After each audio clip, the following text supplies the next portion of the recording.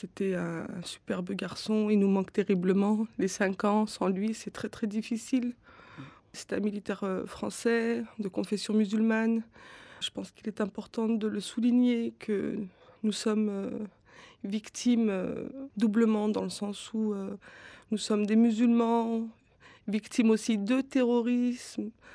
Et ce drame, malheureusement, bah, était que précurseur de, de ces cinq dernières années et tous les autres attentats, malheureusement. C'est justement, on espère, euh, par ce procès, de pouvoir enfin faire le deuil.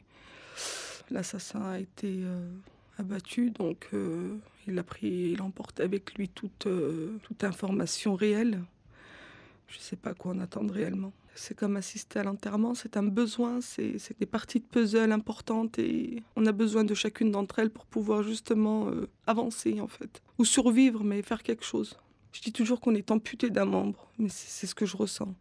Et comme euh, je vais imager, le membre fantôme fait mal. On s'est dit qu'au procès, il fallait que qu'on parle de lui une dernière fois, très certainement. Qu'est-ce qu'elle apporterait, la haine, dans notre, dans notre vie actuelle? Il y en a déjà tellement. Je veux retrouver de la sérénité.